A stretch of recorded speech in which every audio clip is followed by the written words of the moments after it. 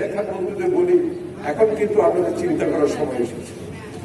আপনাদের ভাবতে হবে, কত ধোকাবাজি আপনাদের দিতে পারবেন কত ভাউতা আপনারা মেনে নেবেন।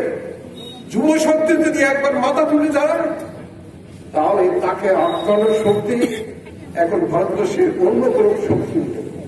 বিজেপির মতন ধর্মাশ্রিত একটা পার্টি, যারা মুসলমানকে প্রধান শত্রু হিসেবে চিহ্নিত করছে, তাদের তাড়িয়ে দিতে চান। যে আইন তৈরি করেছেন, এই সর্বনাশা আইন, এটা আমাদের ঐক্যকে বিনষ্ট করবে। ধর্মের নামে, স্বাধীনতার নামে একবার দেশ ভাগ হয়েছে, পাকিস্তান, হিন্দুস্তান হয়েছে। আজকে এই সমস্ত আইন আবার ভারতবর্ষকে ধর্মের ভিত্তিতে ঠুকরু টুকরু করার জন্য আজকে বিজেপি সবচেয়ে বেশি উৎসাহী, সেই কাজটাই আজকে মন্তব্য দিচ্ছে। আমাদের দেশের দ্বিতীয় বৃহত্তম জনসংখ্যার মানুষ হচ্ছে মুসলিম। প্রায় বিশ কোটির মতো। আর কৃষ্ণ হচ্ছেন প্রায় ছ কোটির মতো।